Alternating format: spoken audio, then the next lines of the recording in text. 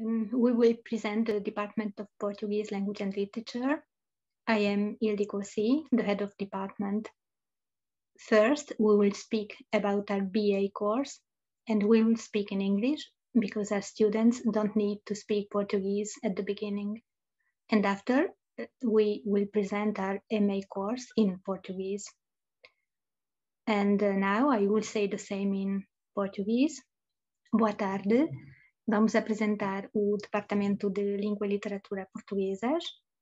E primeiro vamos falar em inglês, porque os nossos uh, estudantes no início do curso de mestrado não precisam de falar português.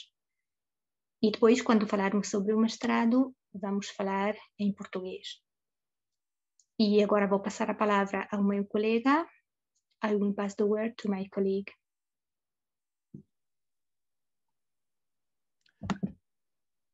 Good afternoon, everyone. My name is Balint Urban. I'm professor of Portuguese, Brazilian, and Lusophone African literatures here at the University of Loránd Department of Portuguese Studies.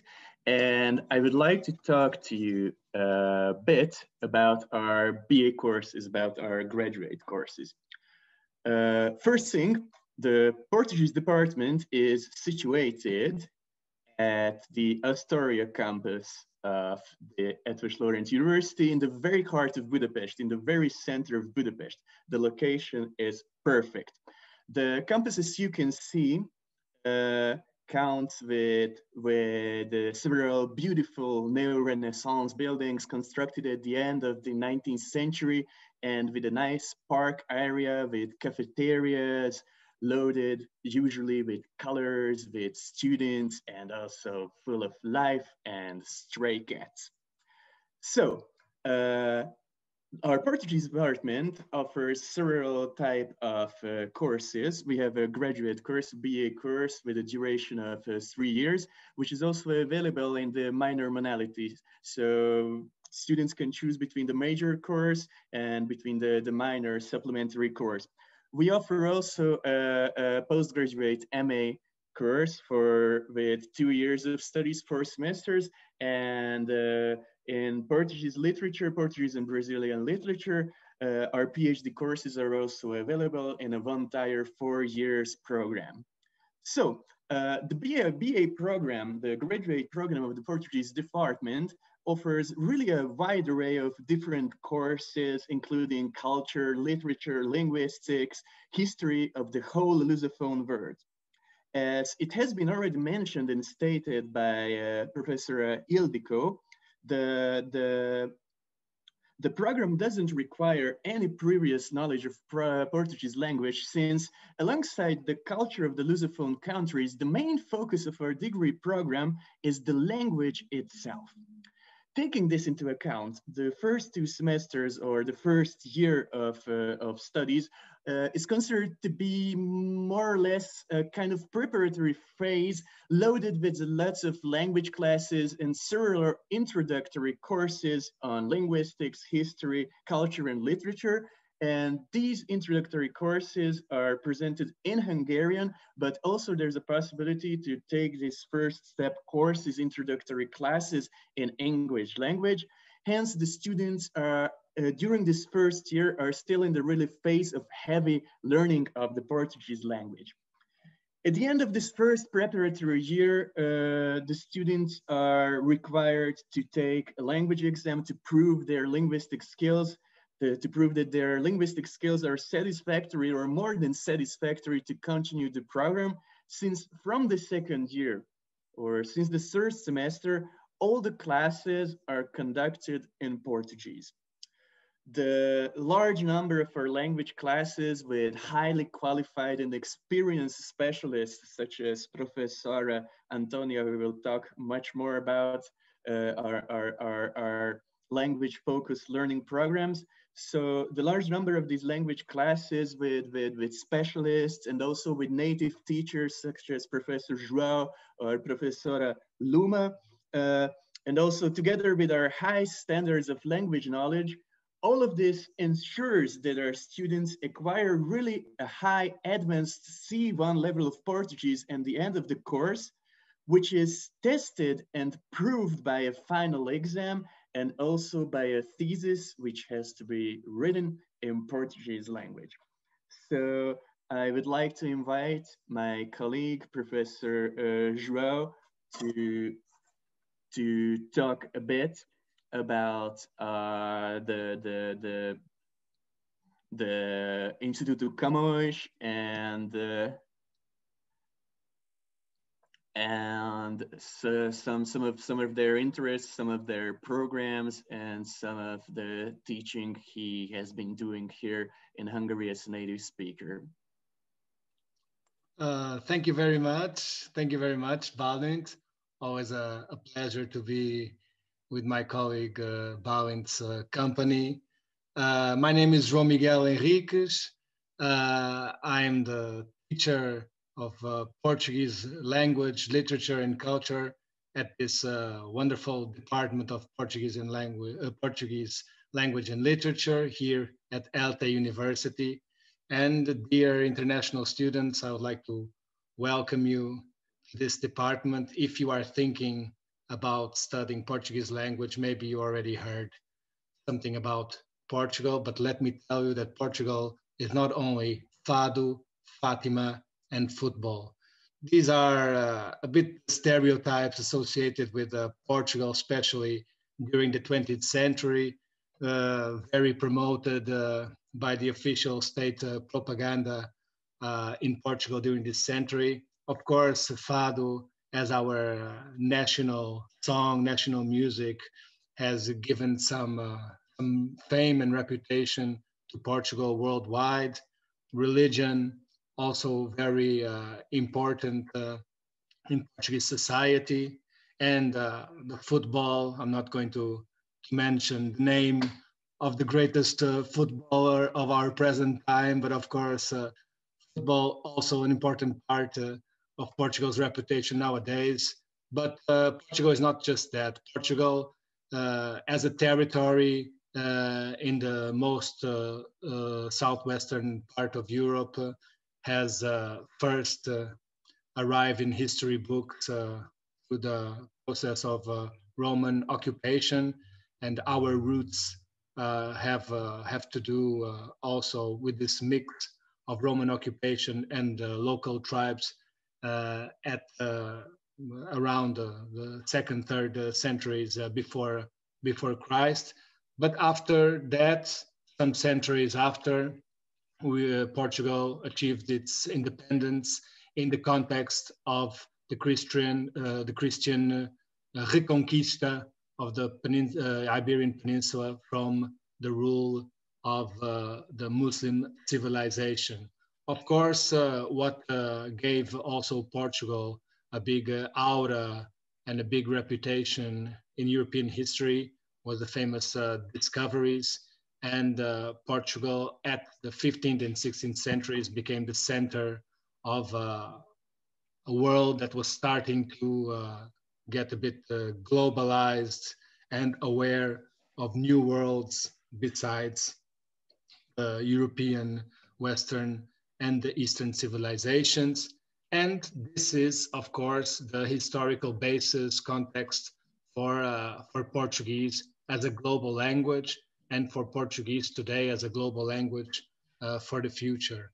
Uh, today, there are more than 250 million speakers worldwide, spread out in four different continents.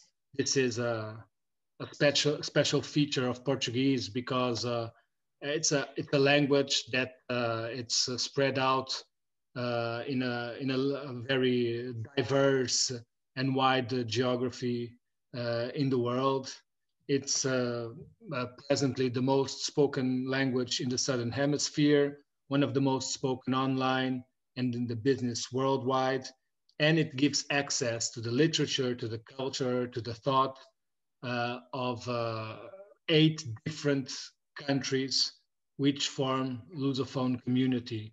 Of course, Portugal is the, the cradle of the language, but uh, Brazil, about which my colleague, uh, Professor Luma, will talk uh, uh, in a while. Brazil uh, concentrates the big amount of uh, speakers of Portuguese, but we shouldn't forget also the presence of Portuguese in African Portuguese-speaking countries such as Angola, Mozambique, Guinea-Bissau, Cabo Verde, and São Tomé Príncipe, and also the Asian representative, the, one of the, the youngest nations, independent nations in the world, East Timor, all forming this, as you can see, very diverse family of cultures, of countries united by this uh, common language.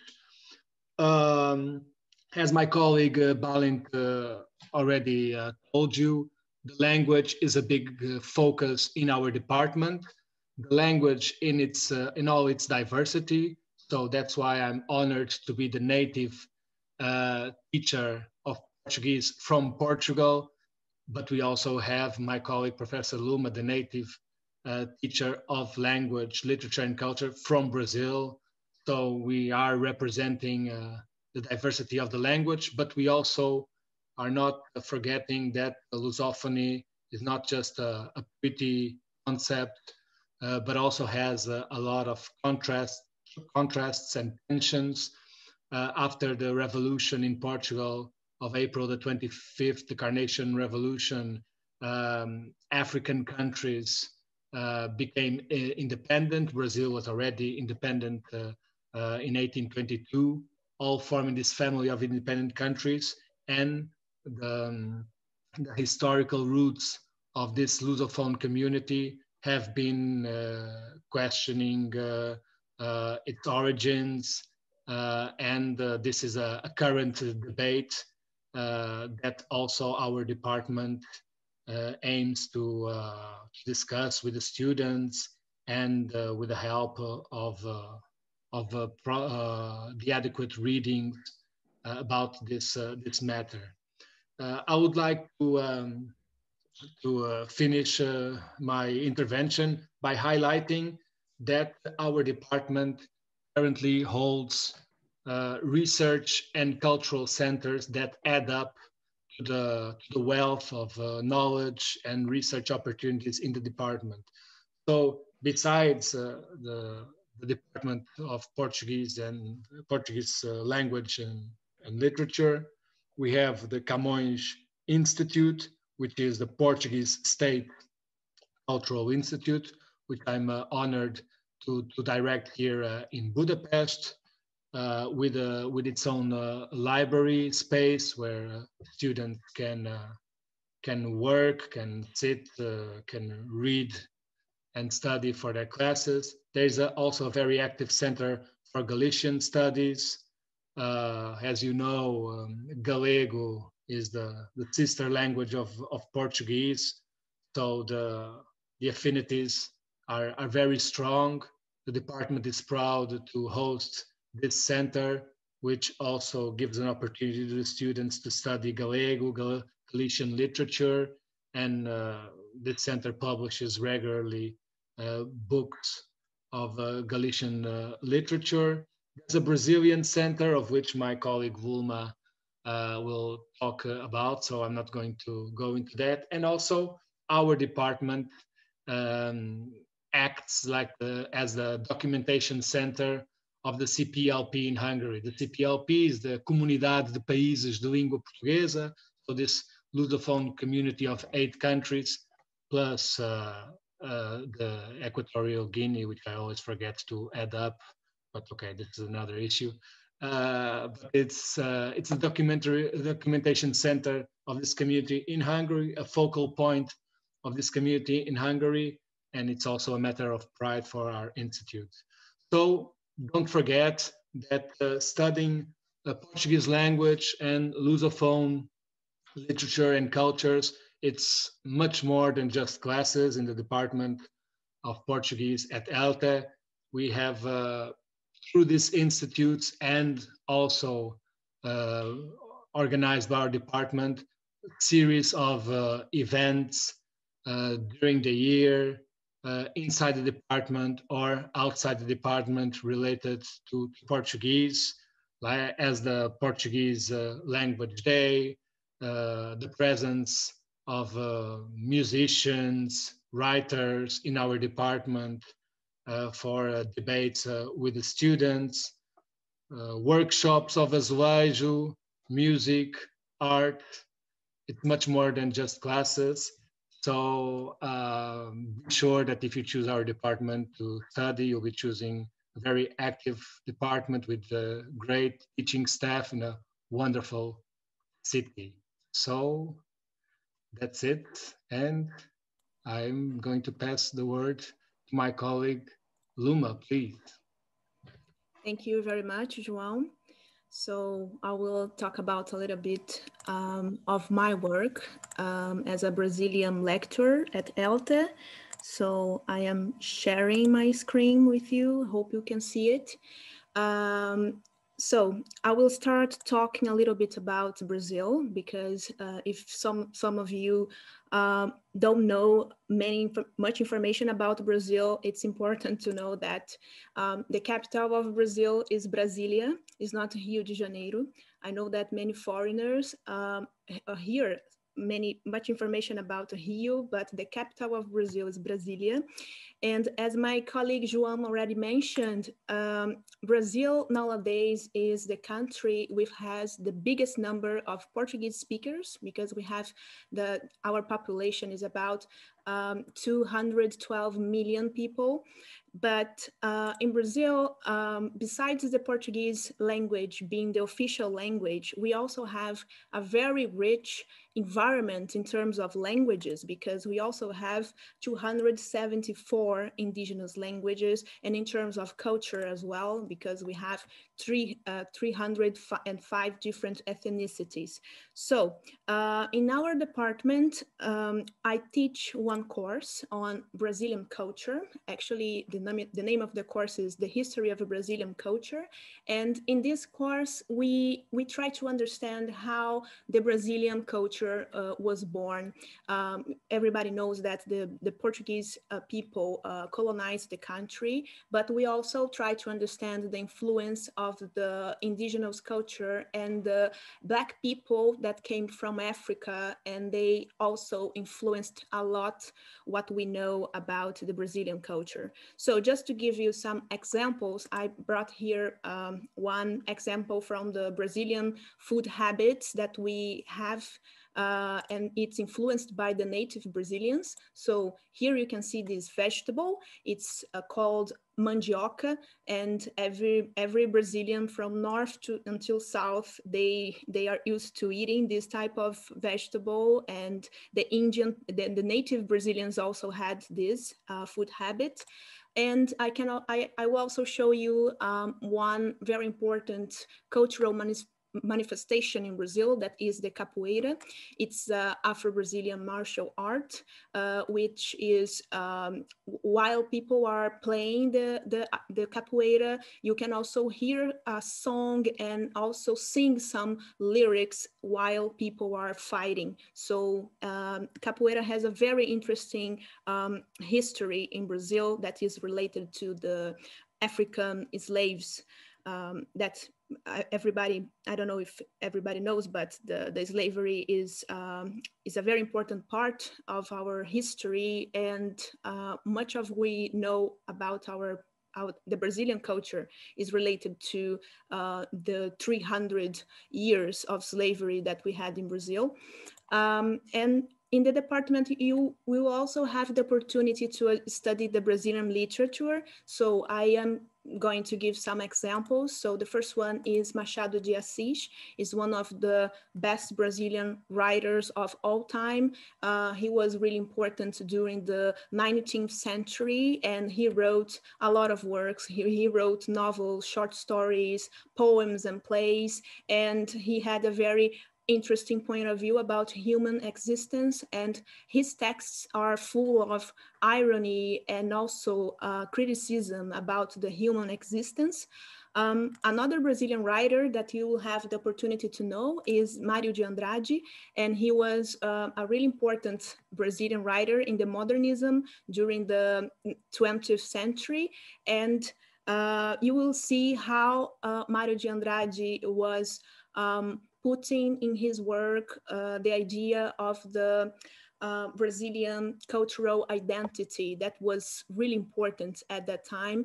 Um, another writer I want to show you is Clarice Lispector. She, she is one of the most important female writers in Brazil, and uh, her work is basically um, um, a lot of she wrote a lot of novels and short stories, and she gave the point of view of middle class women in Brazil.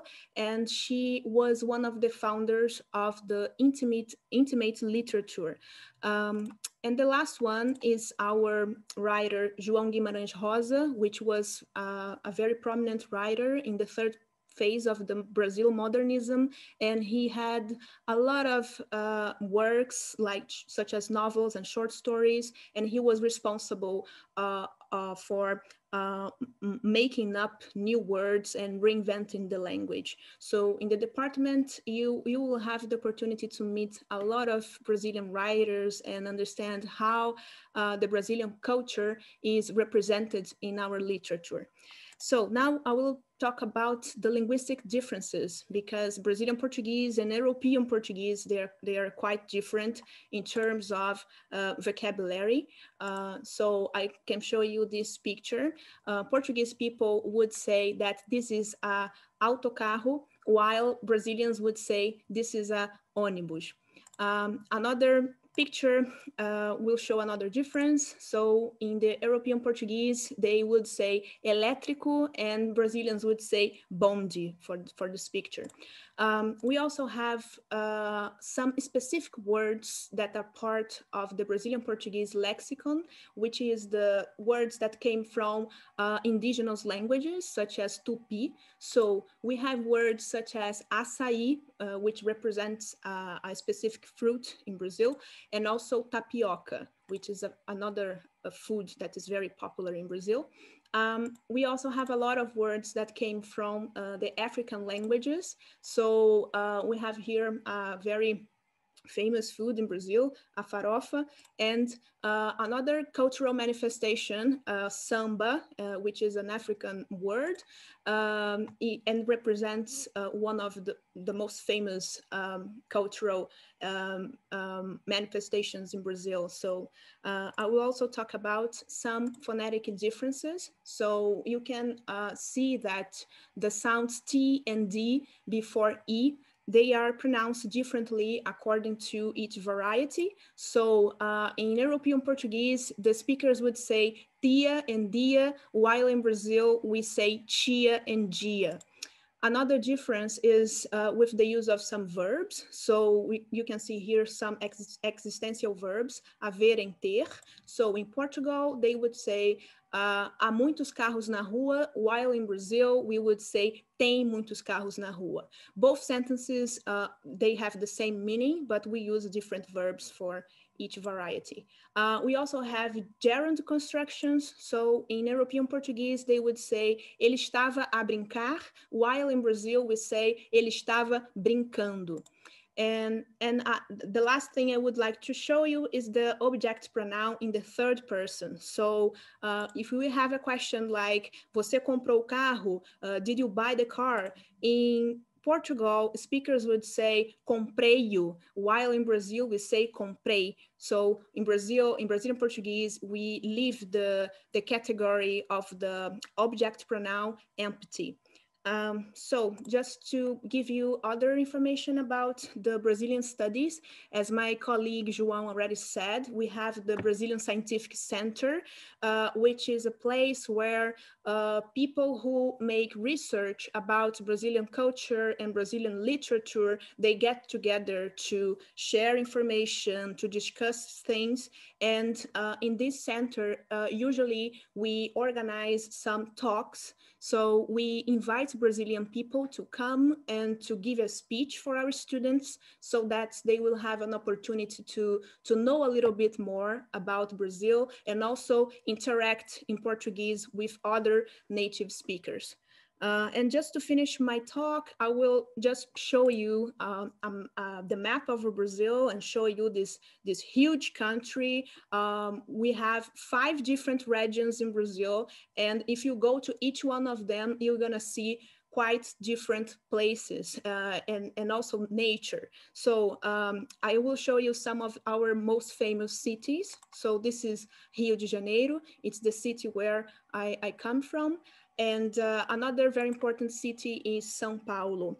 Uh, it is a, a, metropolis because Sao Paulo has uh, 12 million um, inhabitants. And also, when we talk about Brazil, we usually talk about um, the nature because it's really rich. So Amazon rainforest is one of the things uh, that we can discuss during the classes, even the language uh, classes, we can discuss about some character characteristics of Brazil.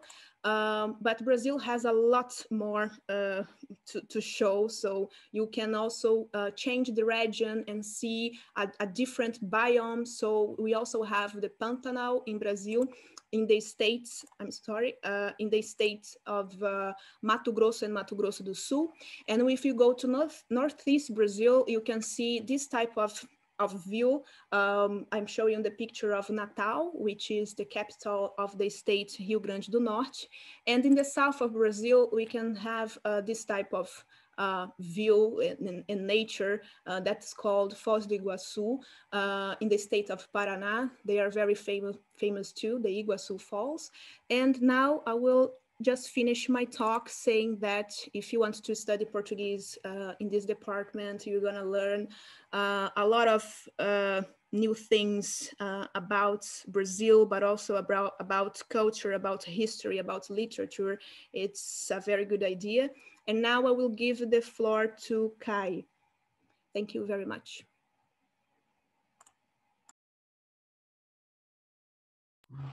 Uh, thank you, Dr. Luma. Yeah, hola todo. I'm Kai Ping, and I'm international student from Singapore. Yeah, I'm, I'm currently majoring in Bachelor of Arts in Portuguese Studies. Yeah, personally, I like to study languages. I study what there are different kind of linguistics and their own form, particularly in the but in the Romance family of the the Indo-European languages. Yeah. Then back then in year 2019, I found this course, Portuguese Studies, from the ELTE website. Yeah, from there, I decided to enroll in this course via the Stipendium Hungaricum scholarship application portal. Yeah, one reason that I chose this course is because they the this course generally accepts students who have no no experience or limited proficiency in Portuguese there are also Portuguese teachers, uh, Portuguese language teachers who can, who are quite capable, in guiding the these new students, uh, including me, to, to for this in this first year, and the lessons are quite well structured and organized. Yeah, the other reason is some, although some of them are in Hungarian, and yes, just like what Balint had mentioned, we also can opt to study the courses in English as well for the first year. Yeah. As such, I encourage those who are passionate in learning this language and the related studies that Dr. Joao and Dr. Luma have mentioned to, to join us in this course. Thank you for your kind attention, everyone. I hereby pass the time to the next speaker, Dr. Eudiko Szijj will talk about the Masters of Arts in Portuguese Studies. Adeus e boa tarde.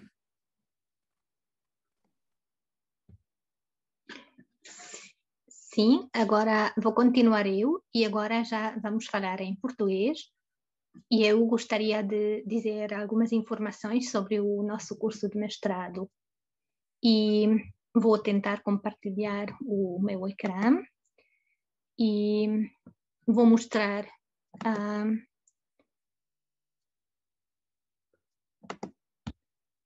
a, a lista da, das disciplinas no, no curso de mestrado.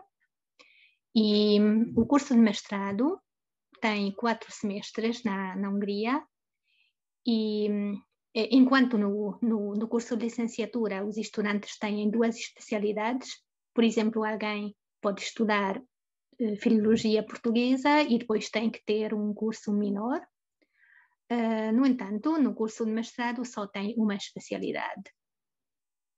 Um, as aulas são todas em português, portanto, os alunos que acabaram a licenciatura já têm um nível C1 e quando começam um curso de, de, de, mestrado, já todas as aulas são em português e todos os trabalhos têm que ser feitos em português e a tese final, depois dos quatro semestres, tam, também tem que ser feita em português, os estudantes devem escrever um, uma tese de 50 páginas, mais ou menos, sobre um tema de um, literatura, cultura ou linguística. E as aulas são uh, de. Há aulas de língua também, porque os estudantes ainda podem aperfeiçoar o, o seu conhecimento linguístico, mas a maior parte das aulas são de literatura, linguística e cultura. Eh, podem ver mais ou menos a lista das disciplinas.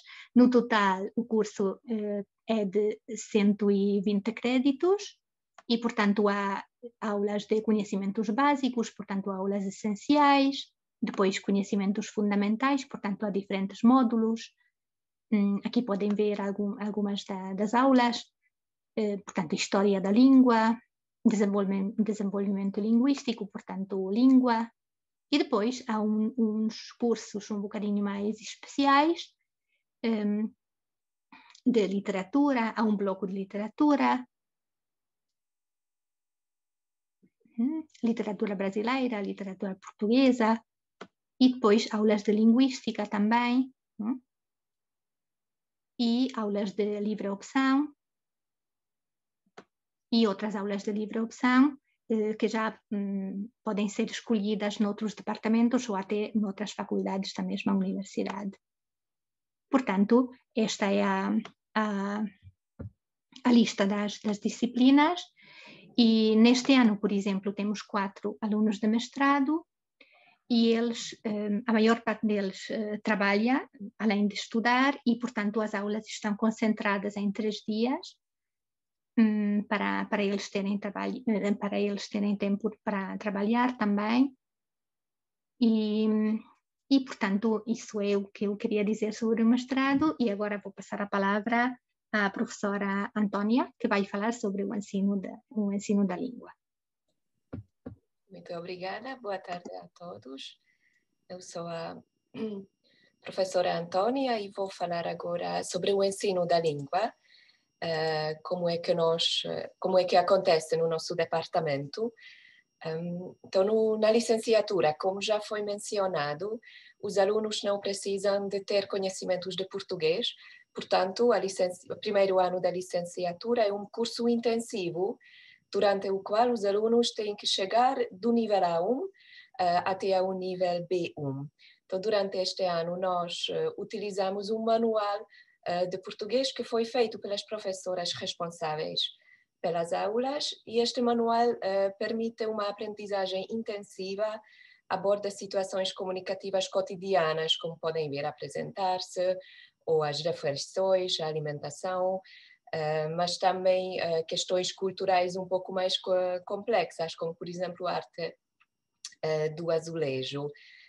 também engloba conteúdos gramaticais não só básicos, uh, mas também mais avançados, porque os alunos então têm que ter a capacidade de seguir as aulas em português a partir do segundo ano. Uh, ao fim deste primeiro ano intensivo, uh, há um exame de língua complexo que tem uma parte escrita e uma parte oral, e neste exame os alunos têm que provar que conseguiram atingir o nível que lhes permita então seguir as aulas em português uh, no segundo ano.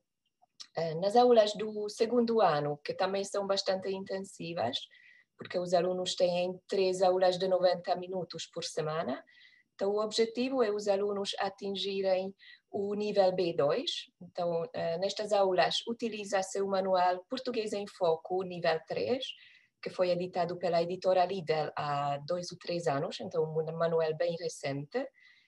E um, então atingir o nível B2, isto quer dizer que os alunos devem ser capazes um, de se exprimir de, de, modo claro e pormenorizado sobre uma grande variedade de temas e também têm de ser capazes de compreender ideias principais em textos sobre assuntos concretos e abstratos também. E no segundo ano, os nossos alunos já têm aulas de línguas não só com professoras húngaras, mas também com os nossos uh, leitores nativos, uh, tanto uh, português como brasileiro. Depois, no terceiro ano, o, o, desafio ainda é maior, porque os alunos têm que chegar até o nível C1. Então, isto é, eles devem ser capazes de se exprimir já de uma forma fluente, espontânea, sobre temas complexos, concretos e abstratos também. Então, nestas aulas também utilizamos uh, uh, o manual Português em Foco, mas já o nível seguinte, que tem estes temas e conteúdos gramaticais mais complexos. Ao fim do terceiro ano, os alunos passam mais um exame de língua, também uh, um exame complexo, que tem uma parte escrita e uma parte oral, para provar que chegaram ao nível C1. Uh, como já foi mencionado, no mestrado os alunos também continuam o estudo da língua e já têm aulas de aperfeiçoamento da língua. Então, os objetivos gerais destas aulas é que os alunos sejam capazes de compreender diferentes tipos de textos longos e de temáticas bem complexas, reconhecendo também os seus significados implícitos elas têm que ser eh, capazes de usar a língua de modo flexível e eficaz, e não só para fins sociais, mas também para fins acadêmicos e profissionais, porque ao fim do mestrado eles têm que escrever uma tese já de, uma, de umas 50 páginas, então eles têm que atingir este nível de língua e elas uh, uh, são capazes, ao fim dos seus estudos, de se exprimir sobre temas complexos de uma forma clara e bem uh, estruturada. Então, desta forma, como podem ver, nós temos aulas de língua uh, em todos os níveis e fazemos tudo para que os nossos alunos sejam capazes de aprender o português uh, num nível bem elevado. Então, é tudo o que eu quis dizer sobre o ensino da língua e agora vou passar a palavra ao meu colega, o professor Istvan Rákóczi, por favor.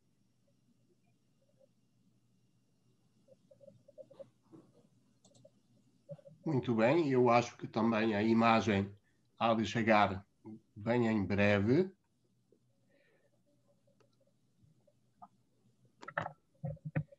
Então, boa tarde ou bom dia, eh, não sei quando é que será ouvida esta gravação é, para todos. É, quereria de, ultrapassadas as, dificuldades de forma fluente e de forma mais ou menos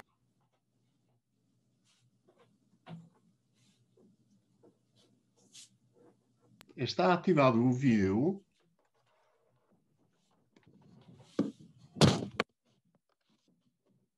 Parece que está ativado e está ativado também o microfone. De qualquer forma, eh, eu quereria apenas gastar algumas palavras em uh, vos apresentando o Centro de Informação e de Documentação uh, dos Países uh, Lusófonos, o CPLP, uma organização internacional a que tem tido aderência a maioria dos países centro-europeus, incluindo a Hungria, que na última cimeira foi aceite como país membro associado de certa forma, eh, como chefe do departamento eh, no meu eh, consulado já ido, de certa forma, sempre tive uma iniciativa de abrir e de contribuir na, na maneira mais flexível possível para servirmos de fonte para e fonte de inspiração e ponte de ligação entre as culturas centro-europeias eh, e as lusófonas. É por isso que temos uma atenção muito especial para com a África, eh, estudantes com eh, as bolsas de estudo Erasmus Mundus eh, e também de Stipendium Hungaricum tem tido já uma experiência conosco e desenvolvemos uma atividade editorial também, editando eh, um conto de Miyakoto numa curiosa edição pentalingue eh, também, igualmente uma tradução eh, eh, da poetisa eh, angolana Ana Paula Tavares, numa edição bilingue também, e comemorando os 200 anos eh, do nascimento do explorador húngaro do Planalto de Bié, eh, a equipa eh, de professores deste departamento contribuiu para que pela primeira vez eh, também a comunidade de africanistas internacional possa ter um acesso, acesso direto em português também a esta vasta obra do explorador através da tradução dos seus diários de viagem. quereria de também vos dizer de que depois dos verdianos eh, de 1976, quando formalmente o núcleo de português na faculdade é fundada, eh, temos desenvolvido uma atividade eh, não só cultural muito intensa, como também científica, sendo anfitriões de quase anualmente colóquios internacionais, a última dedicada por iniciativa da minha colega Ildiko Si, também aos doutorandos eh, eh, que tinham eh, de forma online a possibilidade de estar congregados para compartilhar entre si tudo aquilo que foi feita em matéria de investigação. País acolhedor, a Hungria está à vossa espera, caso queiram eh, prezar esta nossa instituição com a sua eh, presença. Obrigado pela sua eh, atenção e então eu vou passar a palavra para os nossos estudantes de mestrado, que terão também uma palavra a dizer-vos. Muito obrigado pela atenção.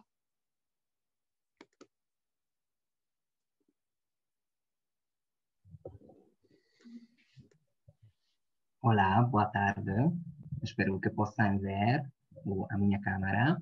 Então, eu vou ser o primeiro que vai dizer algumas palavras sobre a Faculdade de Português aqui na Universidade de ETA. Boa tarde para todos. O meu nome é Marta Maior, sou estudante de mestrado do Departamento de Português na Universidade de Fechura. E nos seguintes minutos gostaria de compartilhar algumas das minhas experiências sobre a aprendizagem da língua portuguesa na ETA como podem ver e como podem saber, o trabalho de profissional formado pelo curso de letras está presente no nosso cotidiano. Hum, basta ir a uma livraria e ver em português as obras de um autor estrangeiro e assistir a um filme dublado e legendado. São algumas uh, coisas e estes são alguns espaços onde o profissional formado em letras pode atuar, por exemplo gostaria de dizer algumas palavras de motivação porque escolhi a Faculdade de Português aqui na Hungria. No curso de letras, o aluno uh, aprende sobre o português e se optar por uma outra língua estrangeira. Além de conhecer a língua, estuda a literatura e cultura dos países lusófonos, como os outros já disseram. Os professores que estão a dar aulas aqui na Hungria são muito simpáticas, estão bem preparadas para transmitir as características da língua, tanto do ponto de vista linguístico como do ponto de vista literário. As aulas são muito divertidas aqui e se alguém estiver muito animado, poderá obter muito graças a este, este tipo de formação. Gostaria de destacar uma pesquisa que eh, foi encontrada aqui na internet. O mercado de trabalho para quem se forma em letras oferece alta empregabilidade, principalmente no setor educacional, de acordo com o levantamento do Instituto de Pesquisa Econômica Aplicada, divulgado no ano passado, a taxa de ocupação da área de educação e formação de professoras é de 95%. entretanto, os tradutores encontram mais oportunidades nas cidades de grande porte, onde a concorrência também é muito maior. Como profissão de tradutor, não é reguladamente, não é necessário diploma para exercer essa atividade. No entanto, profissionais com boa formação e permanentemente atualizados têm muitas chances de conseguir uma boa colocação no mercado de trabalho. Você tem interesse em estudar num curso de letras? Espero que sim, e espero que depois desta pequena introdução fique com muita motivação. E, bom, então, essas foram as minhas palavras sobre a faculdade e sobre as motivações para poder estudar aqui uma língua estrangeira na Universidade de ETA. E agora gostaria de passar a palavra para a minha colega, que se chama Elisa. Muito obrigado pela atenção.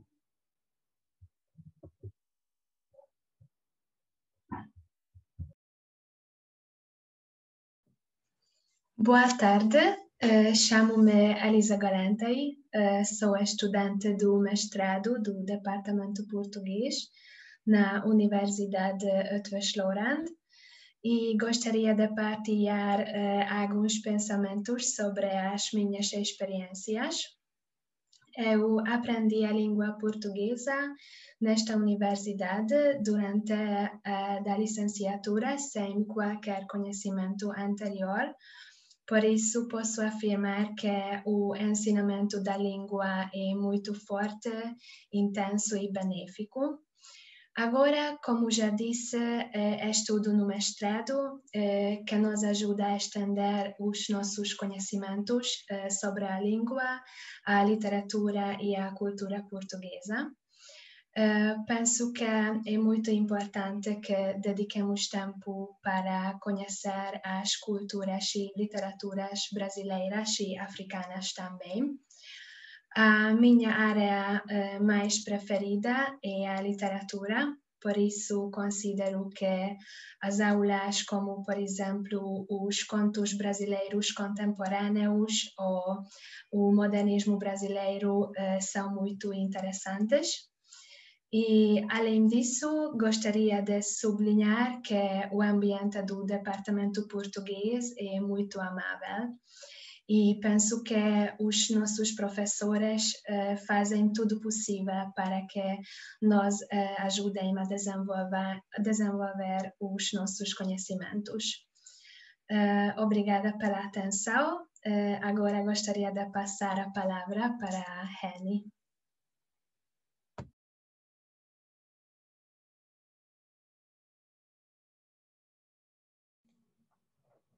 Olá, boa tarde. Uh, eu chamo-me Henrietta Bubrick e também sou mestranda do Departamento Português na Universidade ELTA.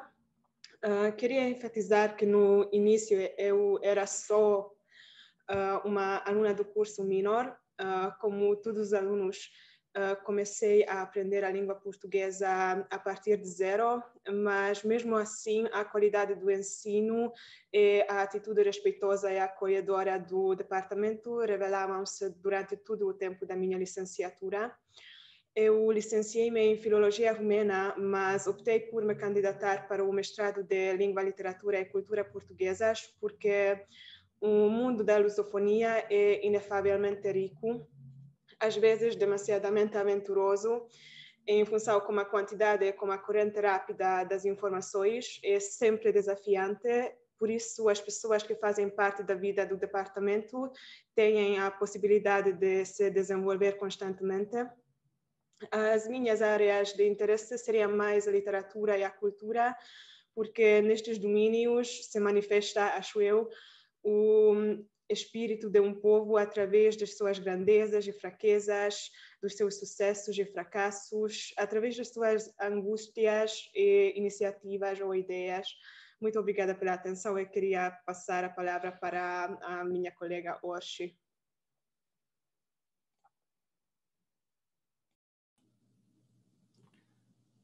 Boa tarde, chamo-me Orshoya.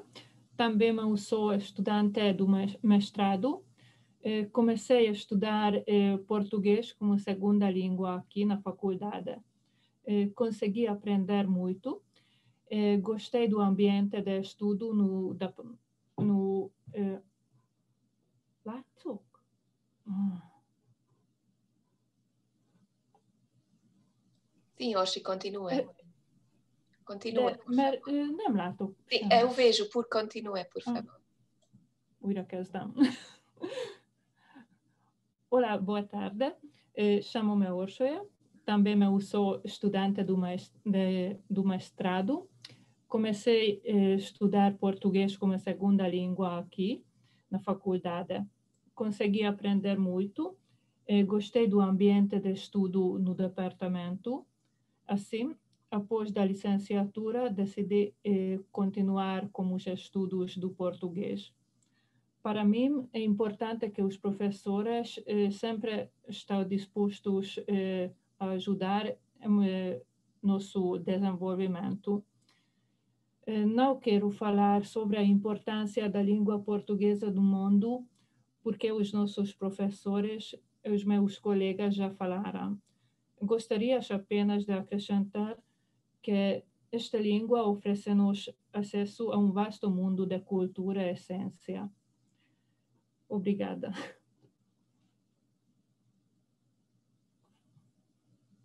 Eh, passo a palavra às professoras. Sim, muito obrigada. E eu só queria encerrar esta apresentação. Espero que tenham gostado e espero que haja algumas pessoas que queiram vir estudar conosco. Muito obrigada pela vossa atenção. Hum, adeus.